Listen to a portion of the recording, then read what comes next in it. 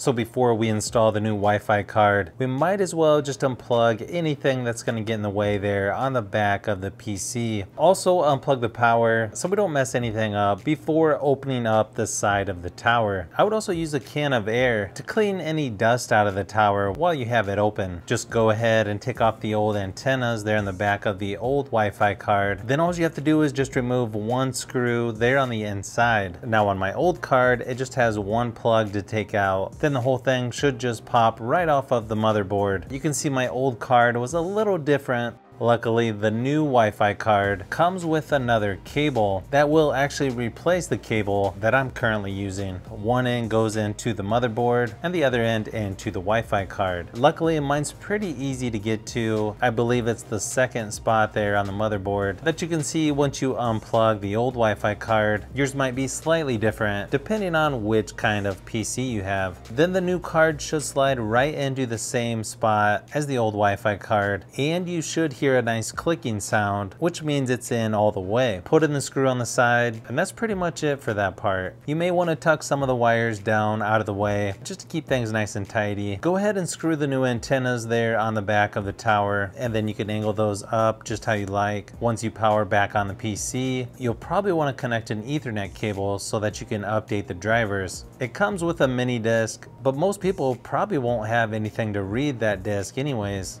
Plus, more than likely, they're gonna be outdated drivers. If you go ahead and search for device management down by the start menu, you should see a section called network adapters. Now on my system, I didn't see any Wi-Fi card, but under other devices, right below that, there was a network controller with a warning sign. Then I just right clicked on that, chose update driver, let it search automatically for the drivers, then search for updated drivers on Windows Update. Then it works like any other Windows Update. On mine it had several driver updates, so I just checked all of them to update everything. And just doing that seemed to do the trick on my system. Yours doesn't have that same kind of network controller to update, it may just be as simple as going to network adapters, right click on the Wi-Fi card or each network adapter and choose update driver. Overall, this was a lot easier than I expected, and my only concern really was with the drivers. Luckily, with my Windows 10 PC, I didn't have any issues with those.